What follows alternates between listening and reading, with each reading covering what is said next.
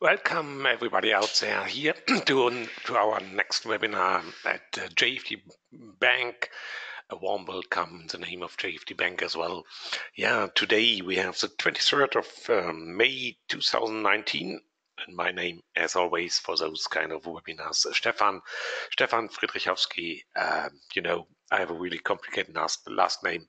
So whenever you get in touch with me, just call me Stefan. That's uh, fair enough. And you see already my email address.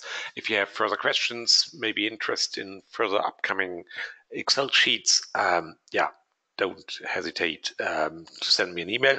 Uh, just drop me a note uh, and you see the email address s.friedrichowski at jfdbank.com.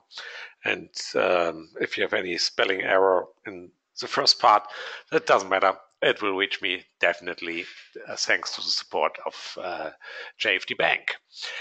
Today's topic topic is stock, uh, stock picking a quite simple trading strategy, and it's finally you will realize it's really easy. So we have already introduced two different kind of um, stock trading strategies. One has been about pullback um, as an entry uh, signal, and the other one has been days since high. Uh, both you will find on the YouTube channel of uh, JFD Bank, uh, no problem. So you just have to go down the list, and then you will have access to all those older recordings as well. So um, that's uh, another chance to have uh, everything uh, up to date and free for you anytime. Same is true for all the recordings of today. You will find them latest tomorrow, um, once again on the same YouTube channel. What else I have always to mention uh, when we start, you if you like, you can already download uh, the slides of today just uh, following the GoToWebinar control panel, and uh, then you can download the slides. Unfortunately, the Excel sheets I cannot upload because that kind of format uh, is not allowed on at GoToWebinar, but uh, I can send you an email uh, with those sheets if you like. If it comes to stock trading, it's always good to know what we are doing as for any trading strategy. And today we will start a little bit with uh, stocks in general, and we will talk about uh, indices and performance indices and price indices, something like that. And finally, we will um, come up with a stock picking strategy, but uh, you will see later. The other thing I have always to mention, you know the procedure, uh, I have to show up the risk disclaimer, uh, and of course I will do so. Uh, we talk here during the webinar about trading, we talk about investment, we talk about trading strategies, but nevertheless, finally, when you open trades, everything you do is on your own responsibility. So it's just your own trades. I think that's more or less self-explaining, but it has to be mentioned uh, at least once during a webinar. Um, you may uh, see me smiling, or at least um, it sounds like I'm smiling. Um, but you you know the procedure.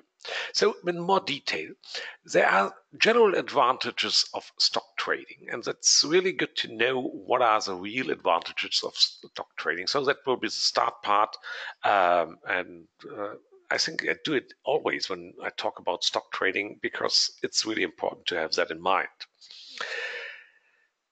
if we talk about stock trading, we need always a benchmark, um, a benchmark for our trading strategies. And those benchmark, yeah, quite easy. We go for the underlying indices. For for example, if we talk about German um, stock companies, yeah, then the best would be we compare our final result with the DAX. And if we talk about S&P 100, that will be the other example of today, uh, and later for stock picking as well we would compare it to the S&P 100. But now there's some problem. Let's call it a problem because the original DAX is not a price index, it's a performance index. And in general, DAX should outperform anything, any other uh, indices, index. There are two things. We have to keep in mind what's the difference between performance and price index.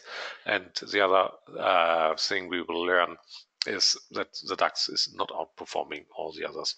But later. But it's good to know the differences. Maybe that's something you know already, uh, okay, but um, I will introduce a concept of performance and price index as well. If we talk about those indices, then there's already a first idea for a stock trading strategy. You know that normally those indices are weighted um, according to market capitalization. So market cap is um, is telling you how much weight an individual company um, has within that index. For example, um, in the German DAX, uh, if you think about uh, Siemens, uh, for example, or SAP, those are the big uh, companies within the DAX, and they have accordingly a higher weight than smaller companies like uh, ThyssenKrupp or Commerzbank or something like that. But now, if you think about such an index, we may go for an equal weight index. So we, we can take the 30 DAX companies and just investing in those companies, but with equal weight. That means we just we do not have the uh, same like DAX price index, and maybe we have already an advantage, and you will see we have. So it's good to know. Um, and finally, of course, as the title of the webinar, stock picking and how to do that kind of picking. So we don't have to be invested in all the 30 companies of the DAX or in all the 100 companies of the S&P 100. Maybe uh, one remark why I go for S&P 100 instead of S&P 500, simply because um, 100 uh, companies uh, for that selection procedure is already enough. Uh, so that's that's everything about that. Um, and the other thing, and finally, I will compare it with the S&P 500. Unfortunately, because I don't find the good data source for the S&P 100 index. Anyhow, we will see we can outperform those indices by far just by a good selection uh, selection procedure, and it's really simple uh, how to do that. But why, in general, is stock trading an advantage in any portfolio? And my thinking is always about uh, wealth management or investment in general, that we need always a combination in our overall portfolio. One part might be our forex trades, CFD trades, and indices or commodities. That's one part, but it should be not everything. Maybe the other part should be um, stocks, just real stocks, and another part maybe physical gold or whatever you have in mind. So that in general creates the overall portfolio. But why stock trading? The good thing about stock trading, we trade something with an intrinsic value. Because finally, if you buy a share of a company, then there's a portion of that company which now belongs me. So there's a portion of any chair, of any machine, any um, patent, everything which belongs to the company, part of that now belongs me. So there's an intrinsic value behind. So that's totally different than if I buy one lot uh, long long trade euro US dollar. There's nothing in my hands, and I even cannot put it in my hands. A company has an intrinsic value, and a share is a part of that company. So that is really something different. The other good thing is the couple of companies are paying dividends. So we get some extra earnings just because we have that share. So dividends for me personally always come on top. I will not incorporate uh, the dividend payments in any strategy. I will take that just uh, as an extra. So that comes on top. The next good thing is that compared to um, CFD trading or forex trading, we do not have any swap costs, so no financing costs. Um, okay, sometimes you may have trades with positive swaps, like, for example, as we speak, um, short trades on euro, US dollar. Every night you get some money. Um, but most of the um, CFDs, there you have to pay swap costs. So the longer the trade, the harder to get a profitable trade.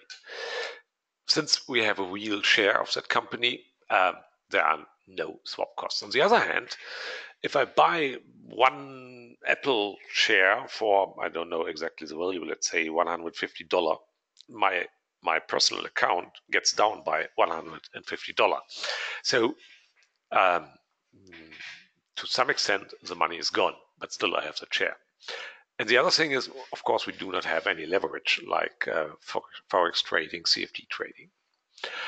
The last good thing for the one or the other may be that you can participate at annual meetings. So that might be of interest for the one or the other.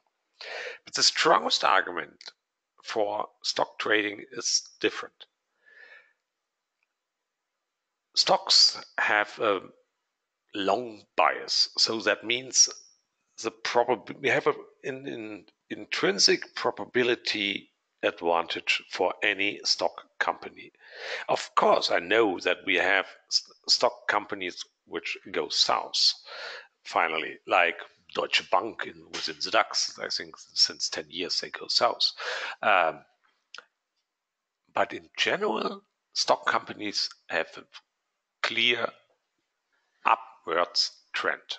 And why? Okay, the simple reason is um, if they don't go north finally, they will be gone. So they, they, they, they need to go north. They and our overall economic system is based on growth. If you don't show up growth, then you are out of the game. So, final argument about that look, for example, for Warren Buffett he is exactly using that long bias. Since 30 or 40 years, he's now investing in stock companies. And look what has happened uh, to him. Quite a good success story.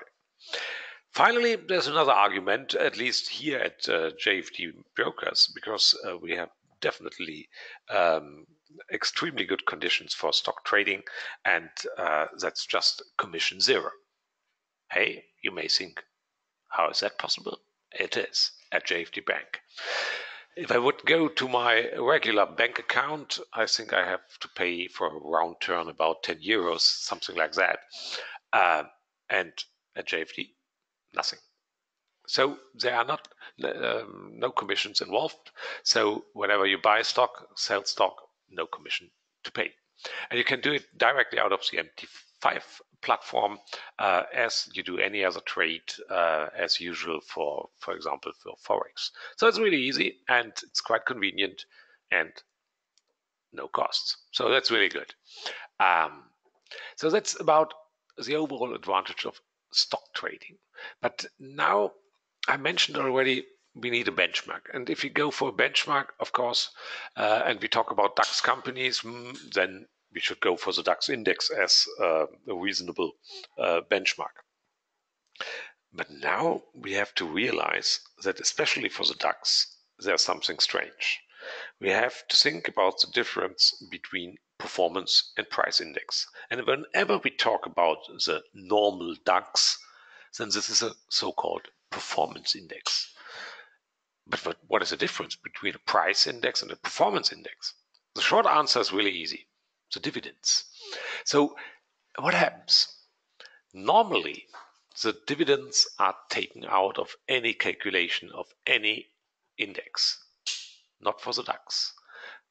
Finally, what happens within the DAX, all the dividends, all the payments of dividends are reinvested in that company.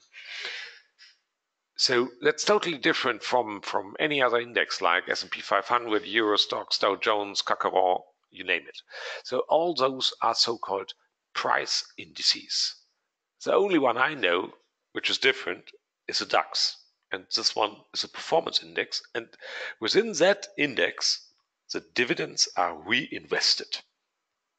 That finally should mean that the DAX should outperform all the other price indices because, yeah, it, it it's using uh, some reinvestment mechanism, and all the other just take out the dividends uh, to yeah to their wallets, but not back into the index.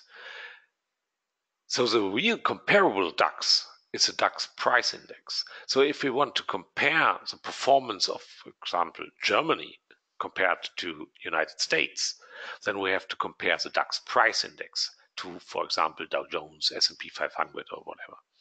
So that's really something you have to keep in mind whenever you talk about um, comparing indices.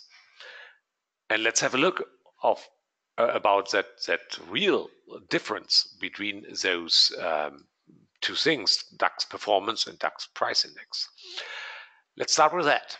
And within my Excel sheet, I have a long list of data from starting at 2001. And in red, we have the well known DAX performance index. So that's exactly what normally uh, is the DAX whenever we talk about the DAX, uh, starting at 6,000, 6, uh, nearly up to 14,000 as we speak, about 12,000. That's what you normally get in any chart. In blue, we have the DAX price index. Uh, oh, that's in German. Kurs means price. Uh, that's from yesterday's uh, German webinar about the same topic. So that's now in blue. So starting a little bit lower. So uh, we will do it uh, in a minute, um, normalized, but uh, you can already easily realize that there's a huge difference between the DAX price index in blue and the DAX um, performance index, the normal DAX in red. Okay, let's let's do it a little bit better. If, if we normalize it uh, to the very beginning, uh, so that is set to 100, and then we can really do um, the calculation um, directly with our eyes, more or less. So starting at 2001 until now, the DAX performance index has nearly doubled, and the DAX price index more or less nothing. So that means investing in the DAX means since ne- nearly 20 years uh, that uh, we have no growth. Hmm. Poor picture for uh, poor picture for uh, Germany. Let's have a comparison to the S&P 500, and let's do it here within the chart. Um, just a second. And now here we have it. And I have normalized the S&P 500 as well. Um, and that is now in yellow. And now you can see, because what do we have to compare? Yellow with blue. Not yellow with red, because we have to compare price index with price index. So DAX is down here in blue and S&P 500 in yellow. And now you can clearly realize the outperformance of the of the United States compared to the DAX. And as far as I know, all the other um, uh, European um, indices like Euro Stoxx or even other single countries, uh, CAC 40, for example, FTSE uh, from United Kingdom, um, no, none of them can can show up the same performance than the United States. Okay, there's one remark I have to make um, because I'm comparing now dollar with euro because the S&P 500 S&P 500 is more or less a dollar value and the DAX of course is a euro value. But that doesn't change the overall picture that much. Um, right now we have um, an exchange rate of about 1.15 and at the very beginning here we have had 0.5 uh, 0.95 about so close to parity. So that doesn't explain uh, that huge difference. So only the DAX performance with re uh, investing of all the dividend payments, uh, okay, can more or less live up with the United States, but not in total. But this is a real and fair comparison between United States and Germany. So you can clearly realize the outperformance of um, United States here. I have to admit, unfortunately, but it is as it is. So, bottom line, keep in mind when it comes to indices that you all that you do everything uh, fair. That means go for the price index and not for the normal DAX. Okay, that lesson is learned, but now let's start the next part um, before we finally end up in stock picking. The next part is maybe there's an interesting idea that we do an equal weight index. What does it mean? So, normally within any um, index, all the companies are weighted according to the market capitalization, capitalization or, or in short, just market cap. So, that market cap means yeah, big companies play a bigger role within that index and small companies a smaller role. So the big and expensive companies, they dominate the index.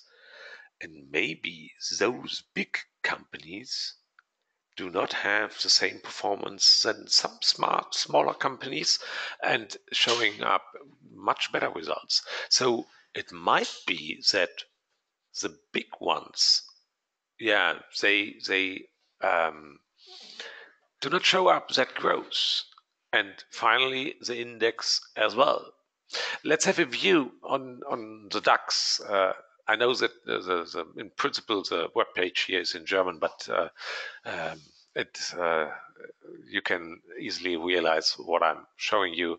So Indexgewicht means uh, that's the weighting within the uh, DAX. And so you see the different numbers for the different companies, ThyssenKrupp, Beiersdorf, Wirecard, and so on.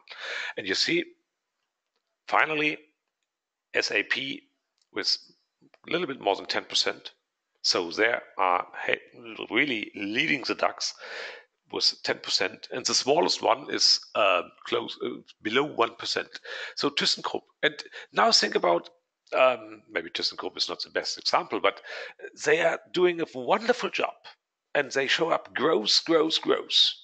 And the price for that company will go north, north, north. Hmm. That will not have a big impact on the DAX index because they are totally underweighted. And on the other hand, companies like SAP, Linde, Allianz, Siemens, mm, big companies, they will more or less never show up with uh, real big growth in their price value. So, of course, from time to time. And there are some examples of big companies showing good growth as well, like uh, it's now United States companies like Apple or Microsoft or Google.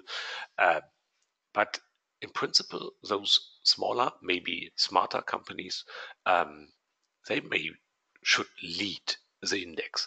What we now do is we simply go for equal weight. That means, okay, let's do an example for the DAX. Um, let's say I have 100,000 um, euros and the DAX contains or um, 30 companies or it's built up by 30 companies. That means now what I do is I invest one um, divided by 30, which means 3,333 euros any company. So I take the, that money and now I go through the list of the 30 DAX companies, let's say starting with Adidas, and um, I go for that uh, amount of money I want to invest in Adidas, uh, divided by the price of uh, Adidas. I think that's something from a couple of days ago. That would be 12.93.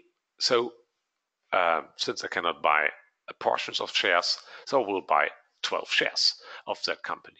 And then I go through the complete list. Doing so, I have an equal weight DAX. Nice. But now I have to do something. From time to time, I have to recalculate. Um, because maybe one company, uh, just because of different prices. Um, I mean, uh, one company, the price might go up, and for another company, the price might go down. That means for the one which goes down, I need some extra shares. The other one, I have to sell shares. So, you know what I mean. What I now do is I do that kind of calculation every 44 trading days, which is around about two months. So every two months I do that update. And of course, if I have uh, now additional money since I clear my, my account totally at that process, um, after the first round, I might have 101,000 uh, euro. Uh, of course, I take that 101 and do that um, procedure of, of uh, reallocation once again. Let's have a view on what finally results if we do that update process every 44 days with our equal weight so to say index but nevertheless still we don't buy the index we what we buy um, are, is real shares so we, we are already within the game of physical stock trading. Um, as a result, let's start with the DAX and uh, according to that procedure, and that is my equity versus time if I do exactly what I have mentioned. For comparison, of course, I have to use the DAX price index, not the DAX um, performance index, but even that one I would outperform again. The blue line is that equal weight stock trading. Okay, looks good. Outperforming quite well. Let's go for numbers. I have to uh, switch a little bit here to the right because the numbers are always behind my GoToWebinar control panel. Okay, the DAX price index um, has an annual growth of 0.83. I hope it will stop in a second. Now it stopped. Um, 0.83% annual growth. Hmm. Uh, funny number. And the strategy, meaning the equal weight, has an annual growth of close to 5%. Okay, it's it's not uh, a huge amount of, of growth, but already more than the index itself, which is already an outperforming um, strategy. And 5%, at least 5%. But it comes better. We know already that the uh, US companies are performing better than um, the German companies. So let's do the same procedure for uh, S&P 100. And still, I have to admit that I compared with the S&P 500 because I don't have a good data source for, for that. First, I have to to um, to mention um, that now my y-axis is a logarithmic uh, scale. Uh, you see the, the numbers. Otherwise, I would uh, have a purely exponential function here. So what we have here is a real outperformance. So you see the comparison between my equal weight stock trading strategy and the S&P 500. Wow. That is outperformance. Let's go for the numbers. Um, so once again, I have to shift to the right here, and then you can see the numbers. And now, okay, the S&P 500 has an annual growth of 7% um, over uh, now I have data for about um, 30, 30, years, yeah, starting at uh, about 1990. And the strategy, equal weight, wow, already close to 16% annual growth just by stock trading. Um, I know that not that many traders have an annual growth of 16% in other kind of markets. So um, that's already quite a good performing strategy. So going for United States companies, going for the 100 S&P 100 stock companies and doing that equal weight procedure yields to exactly that kind of performance. So the update process is done in this case every 44 days. honestly, I have to take any number. But I know that, or uh, I've done the experiment. If I go for other numbers, like doing the procedure every 30 days or 20 days or 60 days, yes, performance will change, but not dramatically. So every two months, that would be an easy job. I mean, thinking about that practically, it means I have to do something every two months. Well, that's easy. I can do that. So that is just equal weight, and we see already the outperforming performance against the DAX and the much more outperformance uh, against the S&P uh, 500. So that's looking like a good story, but it comes even better because now within that kind of strategy, we are always invested in all companies which create that index. When it comes now to stock picking, of course, hmm, we are not forced to be invested in all companies. I mean, nobody forces us. We have a certain amount of money, and what we now try to do is to pick the good ones, those which are really good for future performance. So, exactly what you may do and may think about if you sit at your table and think, okay, I have 10k euro, and which companies I should invest in real stocks.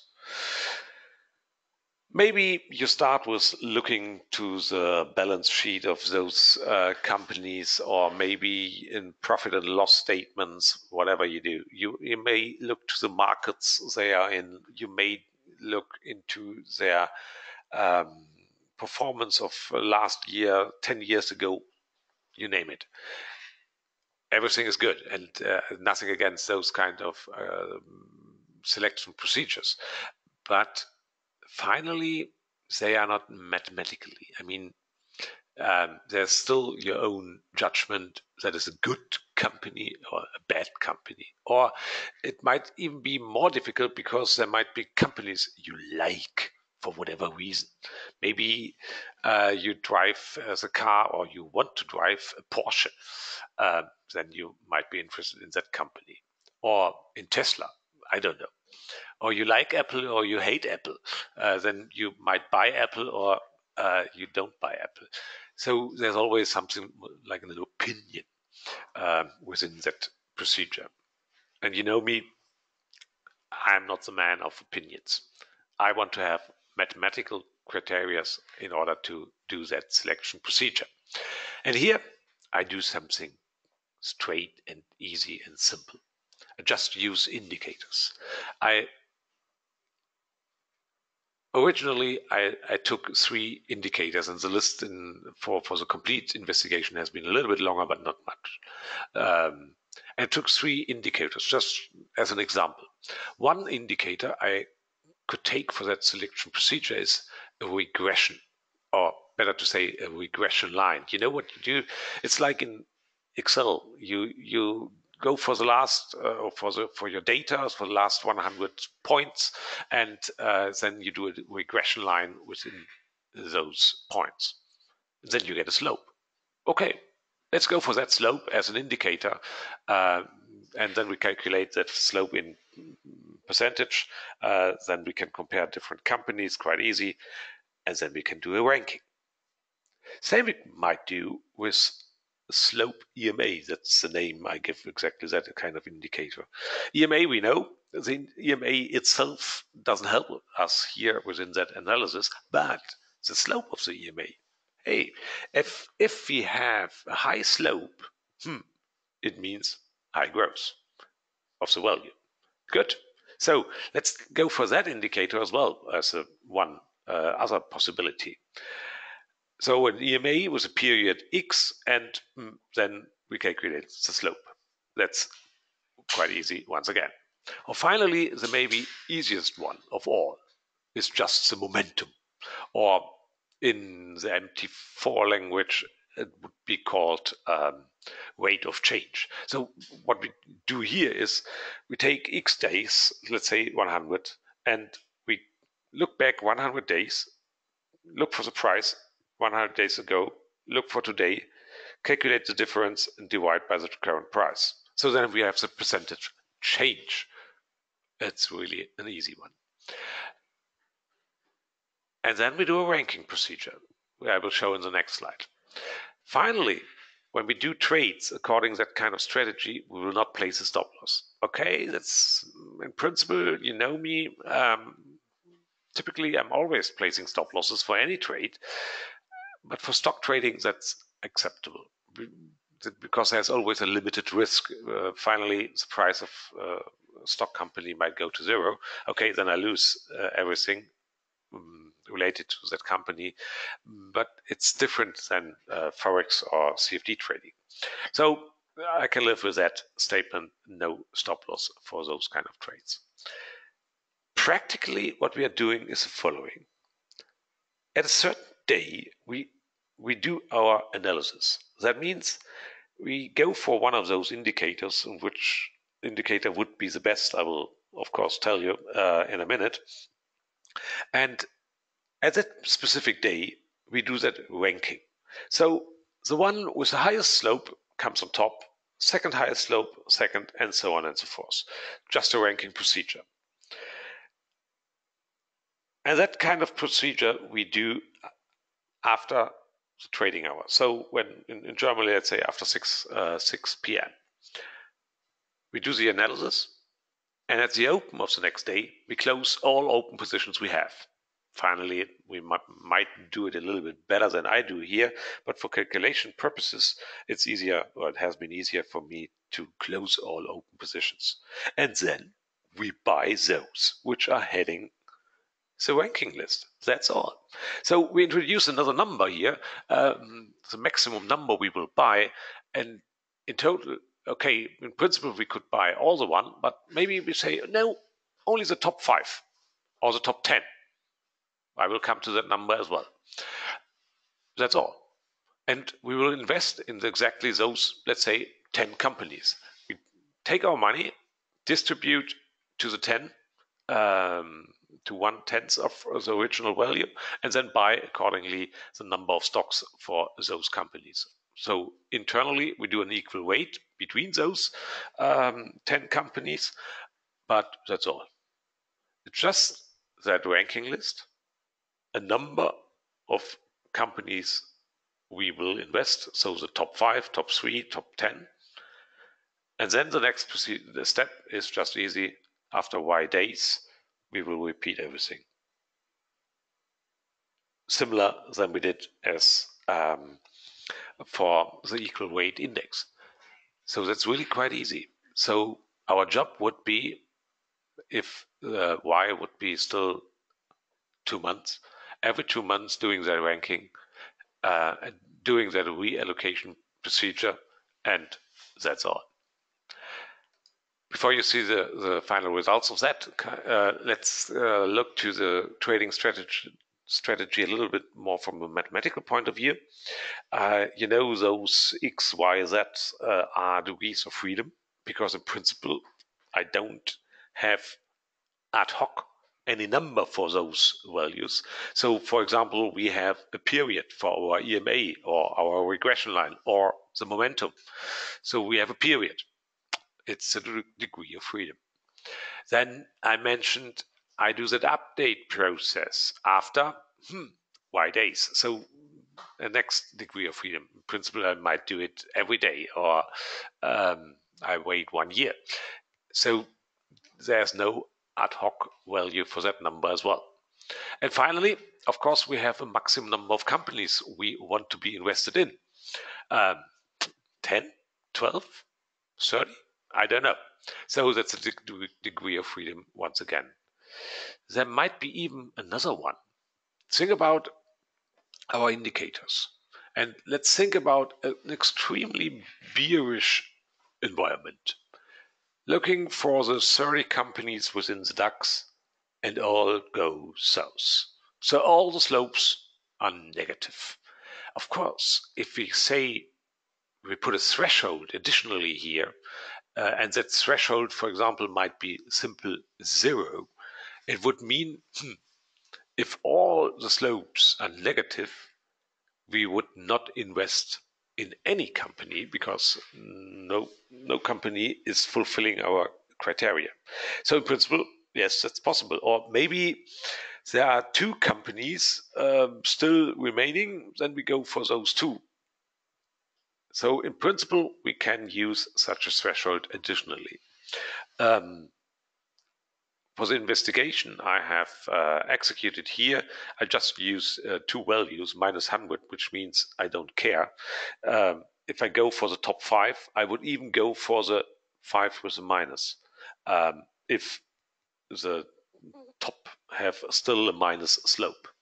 Or the other value I used is uh, simple zero. So I would only invest in those which are finally uh, at least showing up a positive slope, for example, or positive momentum. Later it will turn out, let's go for we, we go for all, so the minus 100, uh, and we have the only limitation would be the maximum number of companies we will be invested in. And let's look for results. And uh, here we are. Let's start with the DAX. Um, and what I show you here is already the one with with the overall best performance, and um, that means I have investigated, of course, uh, within that space of X, Y, Z, a lot of numbers, but finally I choose those which are really robust, really stable, with a huge neighborhood, uh, which are still profitable. So going for an EMA of of 200 in this case for this strategy means the 250 must be positive as well, and the 150 must be positive as well. If I go for an update uh, pr- procedure of uh, every 40 days, 50 days should work as well, 30 days as well. So that's what I always call robustness of a strategy. And um, of course, I have done that kind of investigation, and those are the final results. And you may uh, remember um, the annual growth values. And now we can double it once again. So now we have with the DAX companies and those parameters, which I will summarize in a second. I have a, um, an extra slide for that. I have an annual growth of 10%. So we can double the equal weight and we can outperform the underlying index by far. You remember the growth has been only 0.83% for uh, that um, strategy. So that kind of stock picking, in this case with a regression line of a period of a little bit more than 300, and we do that update procedure every uh, three months, and we will invest maximum in seven companies.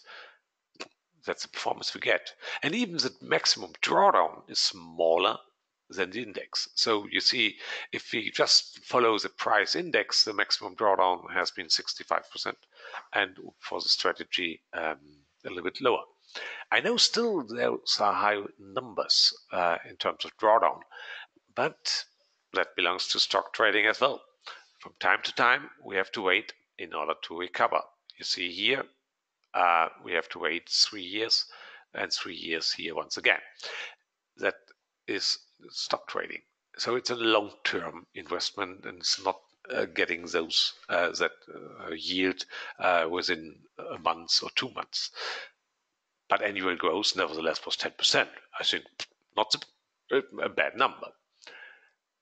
And I think you expect higher values uh, if you go for United States companies, and of course we will have higher values. Once again, I have to change the scale to um, logarithmic scale because otherwise I would purely have an exponential function here. Um, now it turned out the best is to go for slope EMA uh, period a little bit less than 300. But I can tell you the, the complete space of parameters. Uh, more or less everything works. So it's not really depending on those parameters. Uh, it's always yeah what I call plateaus in the parameter space. So it's not really depending on those parameters, and we can get very good results uh, with that kind of strategy. In this case, uh, EMA value close to 300, uh, close to two months. We do the update procedure, and we only invest in five companies, which is good. Uh, because then we don't need such a big portfolio of 100k account. Um, even a 5k account would be good enough for that. And the annual growth we can achieve with that kind of strategy is exceeding already 30%. Oops. Okay, so we can really earn money with stock trading by picking the right ones. And that picking is really easy. It's just looking for the slope of the EMA of uh, the 100 underlyings and go for the top five performer within that list. That's quite short description of any trading strategy, and it works. So, why does it work that well? In principle, one reason is the long bias. The other one is out of, in this case, 100 companies, we always go for the strongest five. Naming those strongest five means in this case they have the highest slope within the price um, versus time. That's all. That's all for about for this kind of strategy, and we get already an annual growth of uh, a little bit more than 30%. Let me summarize the values um, for that kind of strategy. It's quite easy. Um, so for DAX, we would use regression as the best indicator for S&P 100, the slope EMA, period in both cases close to 300, and the update, okay, one is every two months, the other every three months. Uh, for the DAX, we go for max symbols being invested in, uh, seven symbols, and the other one was five. No threshold. So even if we have negative slopes or negative regression slopes, we would go into those companies and you see their annual growth as well. So that's all. That's stock picking, quite easy. And since I have done the investigation in the complete parameter space, I know that it's extremely robust against any parameter variation. So going for other uh, values like 350 or 250 uh, doesn't change the overall picture. Or if you want to have some more symbols, once again, doesn't change the picture. And the good thing as well, and the dividends we get on top. So um, even that we will have. So not being incorporated in any calculation within that webinar. So those we will get on top. So that's a quite cool story. And let me summarize. Um, because we, we have had different topics, not only stock picking uh, strategy, we started with the overall advantage of uh, stock trading at all. And we found out that the DAX is really an exotic index. Uh, when it comes to any other, like S&P 500 or Euro Stoxx or uh, CAC Um, so we know that uh, there's another index which is called the price index that you can find for the DAX as well. This one is really comparable to any other index. Looking for that, we will realize, or we have realized, that uh, Germany is really underperforming against the United States, for example, unfortunately. But it is as it is. And the next thing we found out has been that if we do a new DAX, like an equal weight DAX, so we, we do a reallocation within that index and follow all those stock companies within that index, it's already pro- more profitable than the index itself. The reason are the big ones which are not that outperforming. The small ones, they have a tendency for outperformance. And if we do an equal weight, then those are better represented within our equal weight index than in the original index. Finally, if you go for a stock picking procedure with a mathematical um, indicator like regression line or EMA slope, then we can even get more performance out of stock trading. And finally, with um, yeah, S&P 100 going for that, uh, doing that kind of stock picking procedure, we are above 30% annual growth. So mm, that's a good number. So that's uh, more than most of the standard uh, trading strategies uh, can achieve. So it's good to have that as an additional investment, maybe. At least I will go for that. Uh, definitely. Oh, my last line here is in German once again. So slides, Excel sheets, or my contact uh, you can see here. Uh, if you have interest in those Excel sheets, unfortunately you, you cannot do the recalculation within that Excel sheet. Uh, just a list of trades and uh, getting um, those equity lines. The the procedure behind is much more complicated and complex because uh, yeah I have to manage uh, all uh, for example the 100 uh, price histories of all the companies doing the calculation so mm, that doesn't really fit into an Excel sheet uh, but uh, of course, I can do that with my C, and now it's a C++ computer code. But anyhow, if you like those sheets, I can send you uh, those sheets. If you, on the other hand, send me an email, uh, if you drop me a note at sfriedrichowski at jfdbank.com. That's for today, and uh, hopefully enjoyed enjoyed the webinar, and uh, that I can see you again next month. I'm not sure what I will talk about there. Um, let's see. Um, it might have to do with edges, indicators. Well, that's a good idea. Let's go for that. I wish you a good evening, of course, and enjoy your time. Bye bye.